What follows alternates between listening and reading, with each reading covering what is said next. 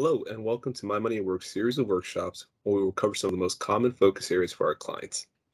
Our topic during this workshop is credit reports and scores.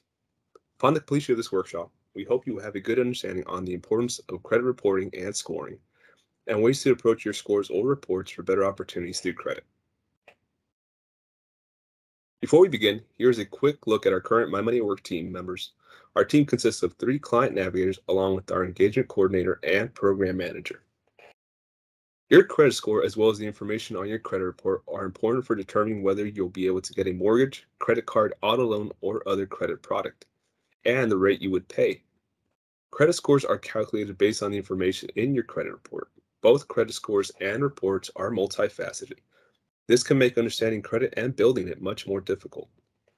However, there are measures in place to ensure that you have opportunities to access and review all the information pertaining to your credit that can help you work towards building and establishing a good credit.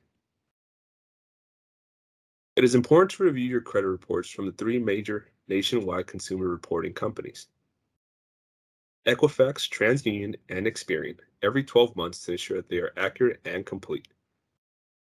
This is especially important if you intend to purchase a home or car with credit or otherwise intend to apply for credit in the future. Banks, credit unions, landlords, insurance companies, and employers can all potentially view your personal report. That is why the accuracy and completeness of your consumer reporting data is extremely important. You may also obtain additional free reports under certain circumstances, such as being denied credit based on the information from a report. In addition to the three major reporting bureaus, there are other consumer agencies that collect information and prepare consumer reports about you. Should you wish to review any of the reports, you can obtain the information directly through the reporting companies. There may be some fee in place to obtain certain reports. Should you encounter any inaccuracies within a credit reporting agency's file, you can dispute the report and attempt to have the information corrected or removed. Keep in mind that the reporting bureaus all pull information differently, which can affect the respective reports for your credit profile. Credit scores consist of data from the credit reports created by the reporting bureaus, which is then formulated into the number which you can view. Your score can differ depending on which credit reporting agency provided the information, the scoring model, the type of loan product, and even the day that it was calculated. Do not be overly concerned if your scores fluctuate, as it is not unusual to notice such occurrences. Try to establish or reestablish good credit behavior and history to maintain your scores closer to the excellent side of the charts. There are different ways to go about obtaining your credit scores. Of those methods, one of the most common ones available today is through a free credit reporting service.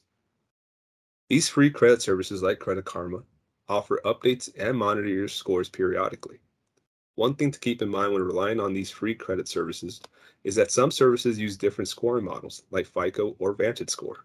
This can be an important detail to keep in mind when applying for loans or credit cards. You can also buy scores directly from one of the credit reporting companies or visit with a local nonprofit credit counseling agency, as they too can possibly provide scores to review with you. Another option to obtain your score is through any credit card or loans you may have. Plenty banks or credit services offer free credit monitoring either through a mobile app or web page. If you are new to credit or have a poor history with credit, there might be a lot of areas in life that seem like an uphill battle in terms of your financial goals. Qualifying for any type of loan, lease, or mortgage might prove near impossible. However, rebuilding good credit history or establishing your credit can be accomplished with the right steps. There are several existing products considered helpful in establishing or rebuilding credit.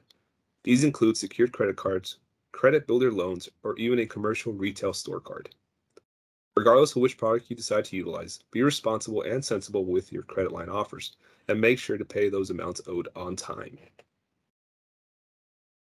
Here's a short video with some helpful tips to start building your credit.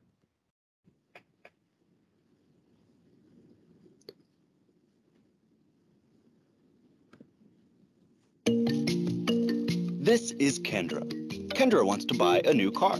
She has some credit from previous accounts, but she doesn't have enough credit history to get a loan. Seeking a solution, Kendra turns to consumerfinance.gov and discovers she has options to help build her credit.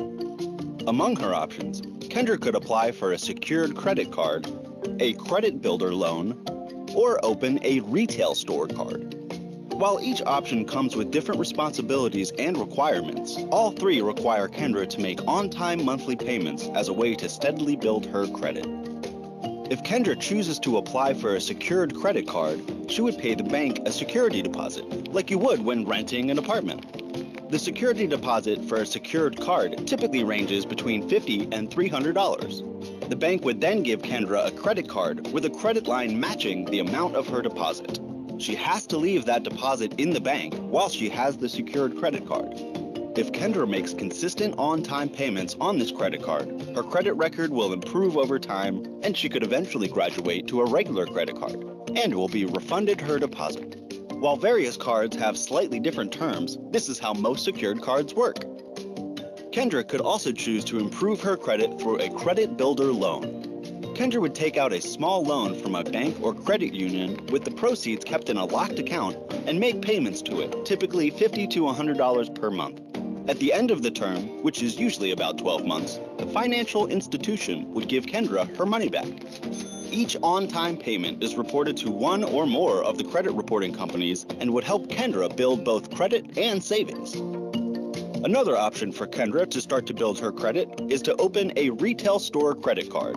Many gas stations, department stores, and other retail chains offer credit cards. These cards are usually easier to obtain and typically have a lower credit limit than other credit cards. Kendra would still need to pay her bill on time every month in order to build her credit score.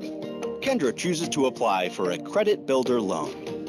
After the 12 months, the bank pays Kendra back the $1,200 that she paid for the loan. With Kendra's new credit score and savings, she has the ability to buy the car she wanted and will save money when paying off the car loan. Building credit takes time, but it's worth the effort.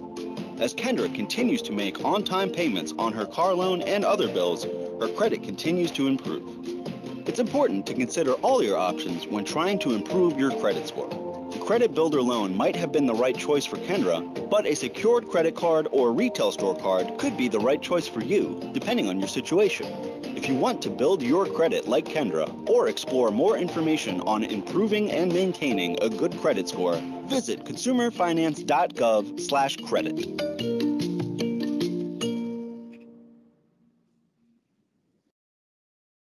Please reach out to us with any questions or visit our webpage for more information. You can also visit the Consumer Financial Protection Bureau via the link and QR code for additional tips and resources. This brings us to the conclusion of this workshop. We hope this information has proven insightful to you viewers, and I'd like to thank you on behalf of our team here at My Money at Work. Goodbye.